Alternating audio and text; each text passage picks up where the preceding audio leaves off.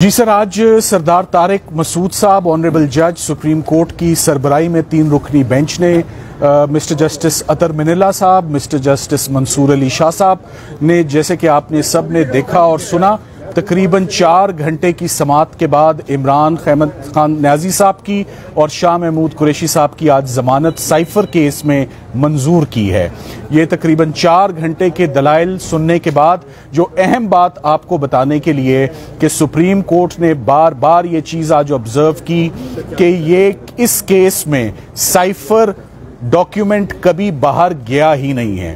तो ये cipher document आप एक्सप्लेन करें कि साइफर का बाहर जाना तो यहाँ पर बनता ही नहीं है, ना रूल्स के मुताबिक, ना फॉरेन ऑफ़िस के मुताबिक, ना प्रोसिक्यूशन केस के मुताबिक। दूसरी जो अहम बात बार बार आज जिसको प्रोसिक्यूशन से कन्फ्रंट किया गया कि वो फॉरेन पावर बताएँ, वो एनिमी स्टेट बताएँ, जिससे जो मुस्तफीद हुई, जिसको फ़ायदा पहुँचा या फ़ायदा पहुँचाया, इमरान खान साहब ने। यह तकरीबन बात 10 से 12 दफ़ा मुख्तलिफ़ अंदाज में पूछी गई, जिसका सरकार के पास कोई जवाब नहीं था। फाइनली जो साइफर केस इतनी तेज़ी से चला आ रहा है 15 अगस्त से, और 15 अगस्त से उसमें इमरान खान साहब और शाह महमूद कुरैशी साहब की गिरफ्तारी बिला जवाज फेडरल इन्वेस्टिगेटिंग एजेंसी ने कर रखी है, और आज दिन तक जो ट्रायल जज हैं, उन्होंने भी जमानत खारिज की और इस्लामाबाद हाई कोर्ट के फाजिल जज साहब ने भी ये जमानत खारिज की। उसको आज तीनों जजेस ने यूनानिमसली एक आवाज़ से उस केस को भी मुस्तरद किया फर्दर इंक्वायरी भी पाई और साथ ही साथ उन्होंने कहा कि ये पॉलिटिकल विक्टिमाइजेशन अगर ऐसे ही चलती रहेगी तो लेवल प्लेइंग फ़ील्ड कैसे मिलेगी? Imran Khan is the leader of popular political party Pakistan Tehreek Insaf elections 8 फरवरी को हैं, उससे पहले।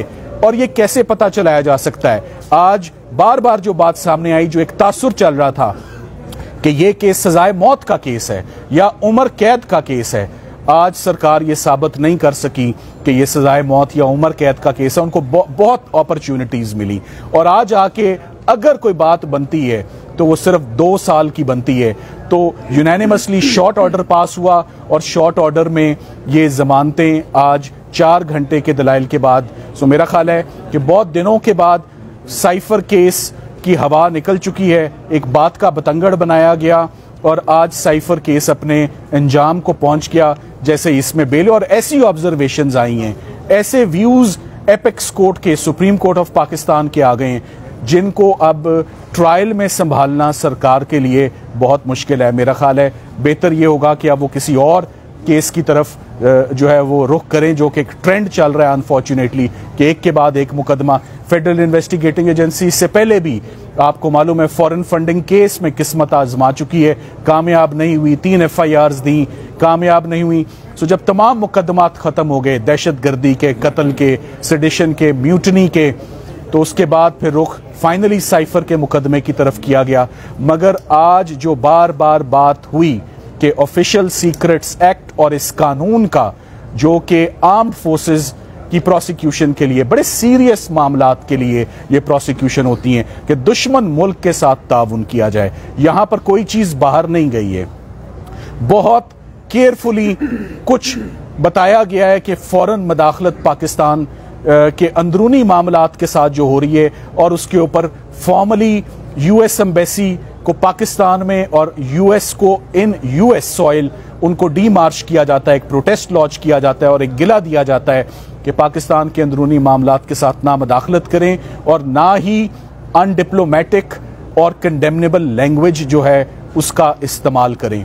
सो साइफर केस जैसे कि चौधरी एतजाज अहसन साहब कहते हैं, आज हकीकी मानों में मेरी नज़र में और जजेस की नज़र में सिफर हो चुका है। अब इस केस के अंदर कुछ नहीं बचा। आ, हमारे साथ अली बुखारी साहब ने आज बड़े ज़बरदस्त दलाइल दिए। शाह महमूद कुरैशी साहब के बिहाफ पर और दोनों पटिशनर्स को एक ऐसा मौका भी आया कि शाह महमूद कुरैशी साहब का केस सुनते हुए ऑनरेबल जजेस ने कहा कि हमने कह दिया कि उनकी स्पीच में कुछ ऐसा नहीं है कि उन्होंने कोई जुर्म कमिट किया और no offence is made out so unfortunate बात है कि एक फॉरेन प्राइम मिनिस्टर एक फॉरेन फॉरेन मिनिस्टर को आपने इतने अरसे से 125 दिन से आपने उनको जेल में रखा हुआ बेजा रखा बिला वजह रखा, इसका अजाला कौन देगा?